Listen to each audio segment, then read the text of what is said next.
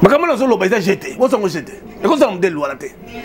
ok kombata bakangi bakangi kombata batyei na boloko combattant alongwe epai ya président félix akomi kote ya, ya bakaba yini c'est quoi cette aventure c'est quoi cette histoire c'est quoi cette diplomatie peuple congolais oyo bozotala biso niveau ya humiliation papa etienne tisekedi mamulumba azwa kombata moko azwango te un vrai combattant, quand on dit combattant jusqu'à jusqu'à la mort, ça veut dire que la fidélité jusqu'à la mort, la patience et la longueur du temps. La patience paye. Mais niveau de comment kende, ba combattant tout ken bien te tout ken bien te makambo nga nazo lobisa bino ngai eza veille patriotique eza en face na bino ekomi biso nyonso tozali toza na droit koloba tobundi toboyi te bien bravo vous avez sacrifié ma vie moto to asacrifie vie moto ezala diaspora azala poto ezala kongola azali awa ase sacrifie vie na ye pour soutenir le combat de tien tisekedi wamlumba tel point qu'il était docteur ya kolonel mpiana parce que le congo ça va changer dans mon mandat vous allez voir un congo nouveau fort et prospère avec fachi beton président de la république fachi beton papa créer bureau moko uniquement oyo eza proposition oyo nazosala créer bureau moko ya suivi uniquement mpo na kolandelaka bacombattant ba difficulté ba posa na bango na ba solution na bango au créer au créer au créer na kata bureau wana baluka jeune moko combattant ya âge à 25 ans batia comme ministre voilà proposition nga na pesi président da oyo ke ofandaka la prison miso esala pasi c'est grâce à fati soki lelo moïse katum alingalinga te au nom de jésus christ le roi de galilée oza témoin soki moïse katumbi lelo azomona malili ya libanda mpo anomona kongo na ninga girafe se kata faci bazongela passeport azongi na mboka oyo bolingi faci asala nini soki lelo efeke mokuna aza libanda se kata faci beton soki lelo oyo jaki ndala elengi aza libanda se kata faci be beton moamai be be nzuma bilibu be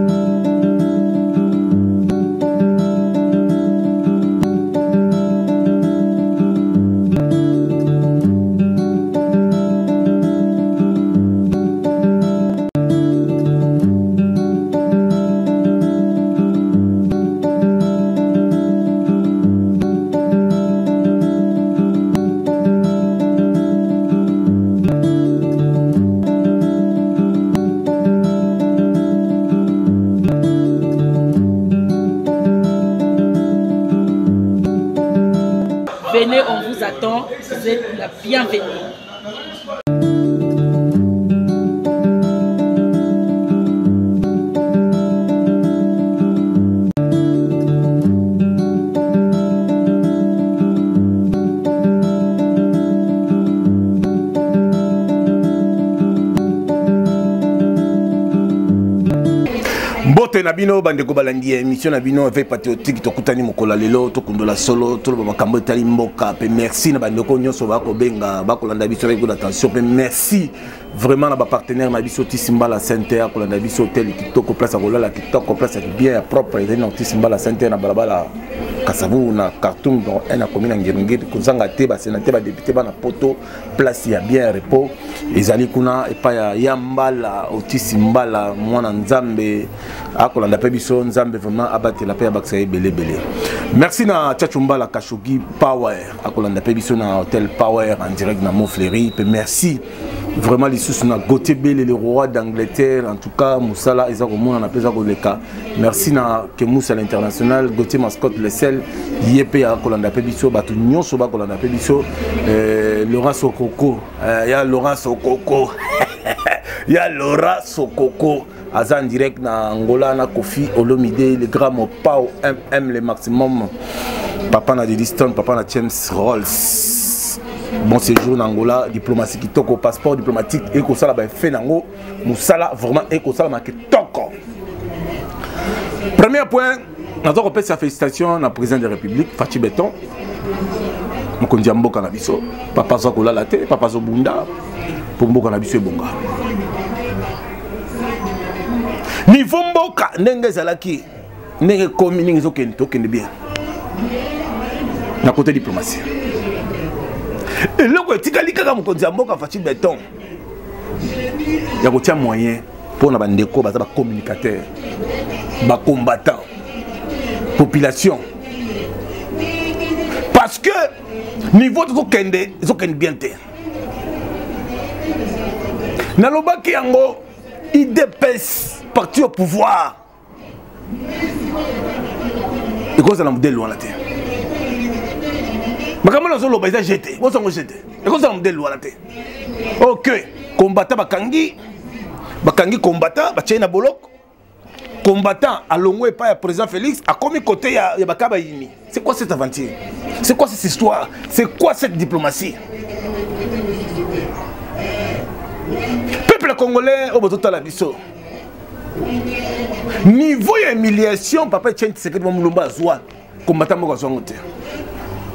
Niveau humiliation, au président Félix Antoine Tshisekedi Chilombo, maman Marthe Kassal, koko nanga Kabamba Chiombo Stéphane, monseigneur mulumba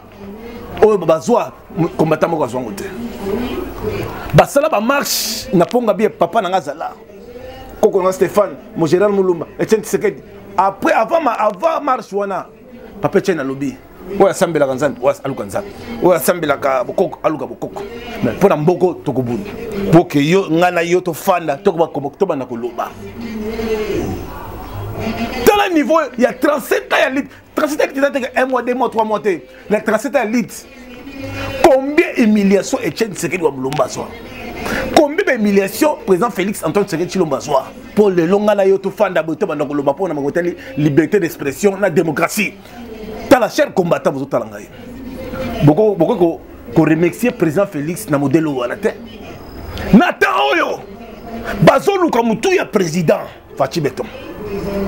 La sorte nyonso ba tenter président plus de 950 fois. Bino ba combattant bozo tala ngai lelo. Boko remercier président Félix na modelo te. Olongwe combattant, okeyi pa ba diversaire, o baso luka mutu ya président. Message nini yango? tokopesa na comité international na bato oyo bazotala biso partout dans le monde un vrai combattant quand on dit combattant jusqu'à jusqu'à la mort ça veut dire que la fidélité jusqu'à la mort la patience et la longueur du temps la patience paye mais niveau tokoma okende ba combattant tozokende bien te tozokende bien te makambo oyo ngai nazolobisa bino ngai eza evei patriotique eza en face na bino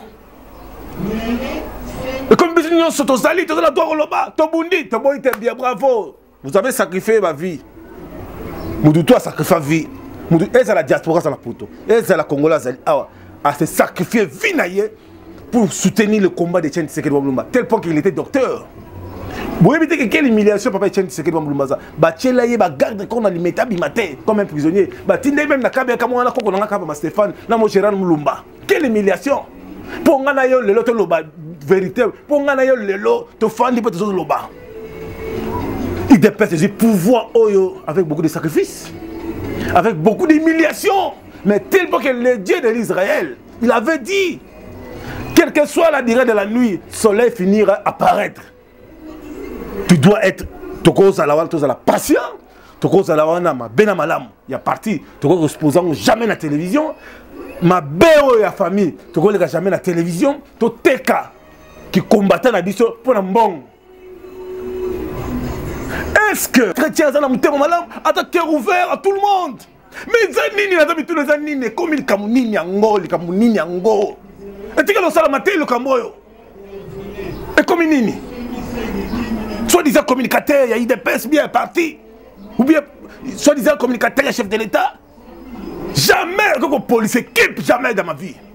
c'est la haute trahison eza nini nzala obe nini yango nasebati bi ezali envoutuma obe eza nini yango pourkoi bokozala na patience te pourkoi bokozala bolingo gracie te bokozala patience te bolingi bolingi borécompense président na sena modele oyo c'est quoi cette aventure c'est quoi cette aventure boza na mawa te boza na mawa te président il a bien dit ça malgré les efforts je fais malgré j'ai réalisé beaucoup de choses au moins mine même la télévision bamili ya président na sens nyonso bazoluka motu ya président na tous les sens il faut que tozala uni toconcevoir pouvoir tokoconcevoir pouvoir na modele oyo ya trahison na modele oyo ya presse na modele oyo abengeli diplomatie diplomatie oyo bandeko na biso bacommunicateur neti oyo diza bacombatant bakomi kobeta na ndenge ya sous-sol tel keke bafrappe ba, ba trop na, na sous-sol elenge mbongo eye elenge eye ebimi ti na mokili mokili ezobenga partout bato bazomituna me eza nini tandis que le chef de l'état il est en train d'observer il est en train d'observer les gens si vous êtes vraiment un combattant okosede te bokosede te idéologie combattant ndima risque ndima prison ndima liwa mais na epoke oyo mokonzi ya mboka facha betan zwi eza lokola tozolonga na egypte tozokota na terre promise na terre promise tozokota bato bakanisaki ke baza na président félix mais nzoka nde baza na ye te na tous les domaines dans tous les domaines aujourd'hui j'avais même dénoncé forte fixation c'est la fardc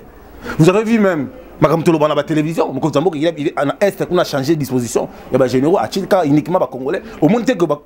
fardc ezo frappe sérieusement komanda mavumu mavumu nzambe apambola yo komanda shiko kitambwe komanda euh, euh, komanda tabu nzambe apambola yo tema nzambe apambola yo parce que mwana mama mwana mama mwana mwa mbuyi nzambe apambola yo parce que le système se commence à changer à très bientôt l'activation du général John Chibang, à très bientôt l'activation d'Edi Capel, à très bientôt l'activation du colonel Lokusa Moulumba, à très bientôt activation du colonel Piana. Parce que le Congo, ça va changer. Dans mon mandat, vous allez voir un Congo nouveau, fort et prospère avec Fatih Béton. Président de la République Fatih Béton. Papa, créer Biromoko uniquement. oyo eza proposition oyo nazosala créer bureau moko ya suivi uniquement mpo na kolandelaka bacombattant badifficulté baposa na bango na basolution na bango ocree ocree ocree na kati ya bureau wana baluka jeune moko combattant ya age ya 25 ans batyaki comme ministre wana proposition nga napesi président pour en finir la forte infiltration au sein ya parti idps la forte mpo na koevite mpe babenga lulombo ekomi okende mabe tozowela kaka diplomatie na niveau ya international na niveau ya afrique mpe na kati ya sous-sol na base tozala kidiba tozala kidiba lubumbashi ezotinda mbongo ale bozwa combattant bozwa ye oyo wana bozwa ye oyo oh, wana bozwa ye me na moi alati elongo ya président félix le cg kabuya papa, papa kabuya s'il vous plaît somba numéro moko ya téléphone uniquement ya kozwaka badoléance ya bacombattant mpe na bacommunicateur il faut identifier tous les, tous les moto nyonso azolobela chef de l'état même aza moto ya youtube même aza il faut l'identifier il faut bazala na relation na il faut mettre des moyens ezalaka te kaka président président président Philippe parce que président azali président pour tout le monde Serge Kabuya yoka ngai tu es mon oncle nazoloba na yo okise Kabuya mwana bute créer numéro moko créer structure moko uniquement pour identifier tout le monde les communicateurs du chef de l'état bato to bazolobela makambo mokonzi ya mboka oyamba bango opesa bango bamoyen parce que na maintenant mbongo ezali moyen nyonso ezali botia bango à l'aise mpo mboka ekende toujours parce que mboka oyo ça va changer avec Fatshi Beton ça va changer au nom de Jésus Christ tel point que déjà bozomona bilembo roi ye etikala kosalama te na moment ya président to baleka na afrique sarkozy euh, euh, françois hollande ayaka na mboko alala na brazzaville hein? mais roi alali awa na mboko congo plus de une semaine faci beton eza déjà grâce eza bénédiction eza une libération lumumba nzoto na ye ezala minu ezala miso ezala soko crane soki nini wana etali ngai te mais lumumba aza déjà na biso awa par esprit aza déjà na, na, na monument bobengaki nga liboma oyo pacolofi moto ya makelele tala libandi chomeur ah oh euh, balongoli stati ya lumumba ngabi te bazotonga eloko ya somo tala monument climatisé avec, avec wifi lumumba aza ntere wana honneur be honneur te na epoke ya président félix antoine tshisekedi tshilo moko antongola mwama ya kaninda tala bino moko place oyo ezalaki soko lekeyi na ministère oyo babengi ya affaire étrangère soki okiti mwa moke omoni ministère ya françois publique batiaka barrière bamura kuna koleka te batiaki barrière ti kote ya nsima ya ngaliema kuna mais faci alobi balongola biloko wana di ezali balabala leta motuka eleka c'est ça l'amour du peuple c'est ça le peuple d'abord même mal à parler de mab na kala biso tozokotisa voiture na koti na palais mab apa oleki okei nzela wana eza kofuma avec voiture beton baprisonnier politique soki babimi lelo na mboko jo milonga liso azozoma lili ya libanda azolala laise c'est grâce à faci soki lelo frank diongo grand frère na ngai to tobunda liti na kati na ye azoyoka malili ya climatisation azolala kitoko sans dérangement c'est faci beton soki lelo papa na ngai moyambu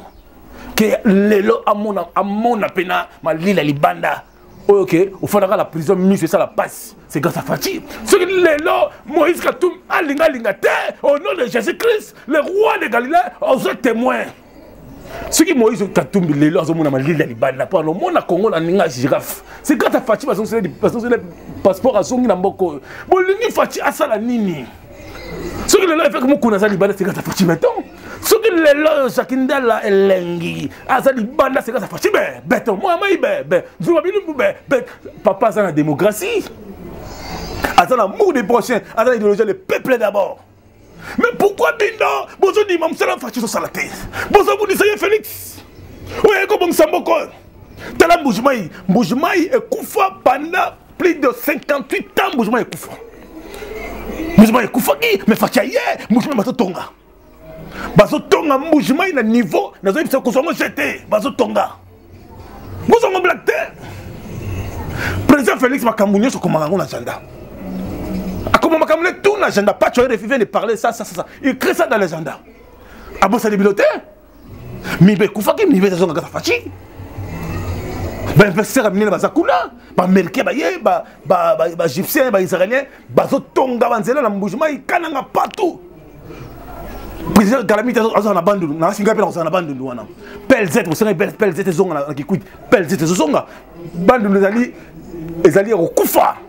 bandundu eza kokufa bato ebele baresultat ya bandundu baza baministre basenateur batikala jamais koconstruire na bandundu c'est faci beton oyo aye mpo azongisa congo ndenge ezalaki na ere ya belge tozokoma na metro est ce que bino oyebi yango kolongwa kingasa jusqu'à arriver en ville tokenda osema mai mai esama metro c'est faci beton président félix aotya barestaurant caritas boza presse pourquoi bozotrahir ye mpo na nini likolo mbongo ya salite ecombata ipe batrahir tu sais pas l'impact oyo papa chen tshisekedi mwa molumba aza nango na mboka oyo n'a jamais trahi le congo dans le moment oyo ke idps eza na pouvoir yo olongwe okei na gauche mposa image ya mabe ya mokonzi ya mboka nazosenga na bino oyo ezali message ya fait patriotique biloko nyonso tozomona tozodénonce mpo ke mboka echange avec fashi beton le seul président oyo aza na bolingo aza na bolingo grasi tozosala réforme ya la police réforme ya, ya, ya, ya armée tozala bakombato toza bakomando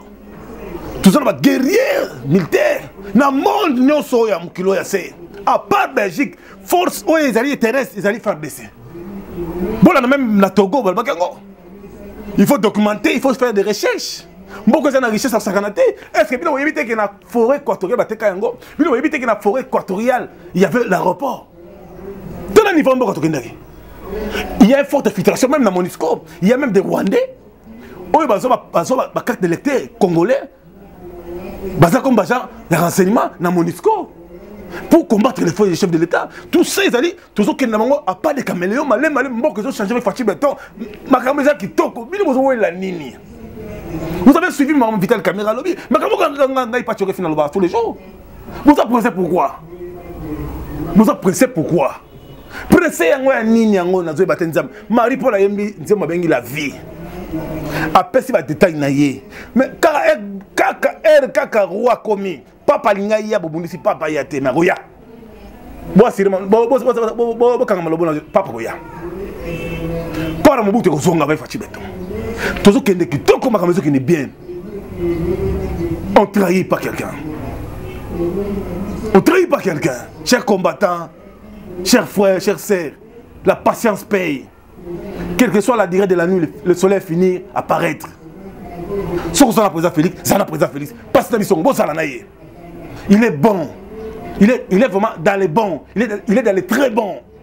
C'est un bon papa, un bon tonton, un bon oncle, un bon papa Léki. un beau yaya. Il ne faut pas le trahir. C'est notre sang. Il est des pères et des mères. Pourquoi vous faites ça, non, mon frère qui me suivent Pourquoi vous faites ça Ce n'est pas bien. Ce n'est pas bien, ça blessé. ça blesse c'est pas bien tolanda président denis sassou nguesso ere ayaki akiti na palais de la nation baketi na tome ya, ya lumumba tolanda quelques minutes Je dois d'abord euh, remercier, vraiment sincèrement, mon frère, ami, président Tshisekedi, de m'avoir associé à cette euh, cérémonie euh, d'hommage à Patrice Emery Lumumba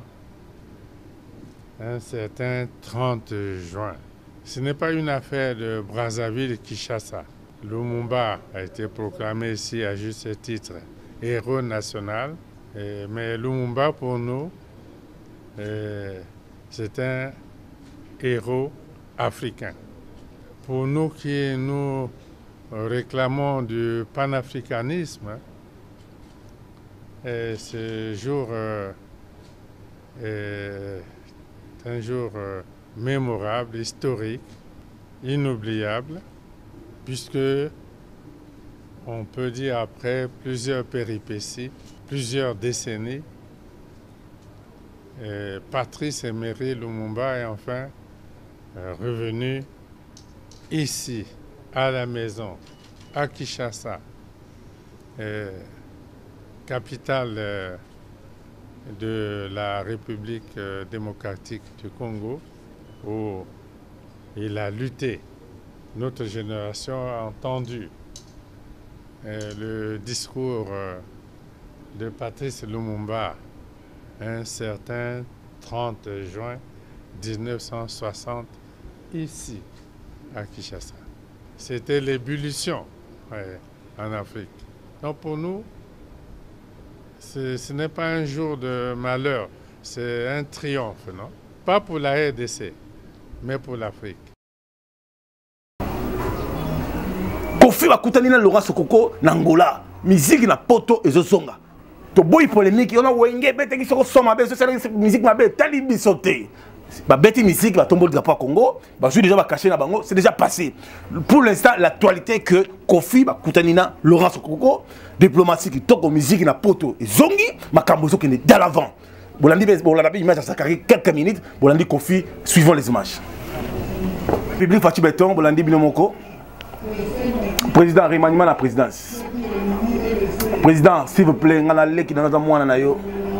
président pardon vraiment tya biro moko ya suivi elandela makambo parce que ya danger ya danger tv comme elenge